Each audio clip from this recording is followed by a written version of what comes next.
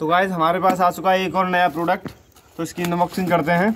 वैसे तो खुला हुआ है, बस खुला ही है, आपके सामने खोल देते हैं इसको। पता नहीं क्या है नायका की तरफ़ से आया है।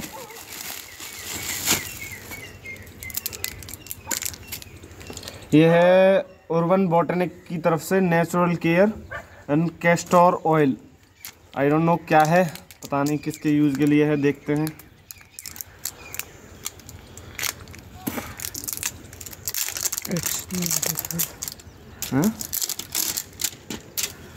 स्मेल स्मेल देख लेते हैं। नॉर्मल आई डोंट नो किस यूज़ के लिए है। इसका यूज़ देखते हैं, फिर इसके बाद इस पर फुल वीडियो बनाएँगे।